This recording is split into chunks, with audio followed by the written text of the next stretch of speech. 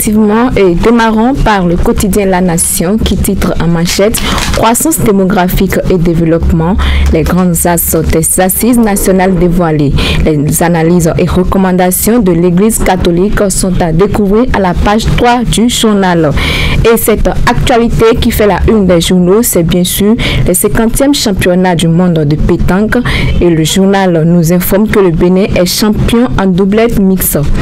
Quant à Fraternité, il titre que les guépards et les Amazones brillent de mille feux. Il précise qu'au-delà de l'espoir, entretenir la flamme.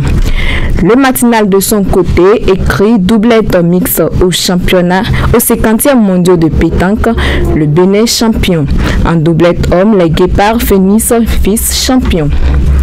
La lecture de cette une se poursuit avec le quotidien Le Pays émergent qui titre 50e mondiaux de pétanque 2023, l'or et l'argent pour le Bénin.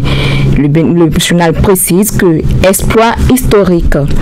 L'affiche du jour affiche à sa une 50e mondiaux de pétanque le Bénin champion du monde en doublette mixte. Et par ailleurs, ce même journal écrit des informations sur la contraception au Bénin, un véritable obstacle à la planification familiale.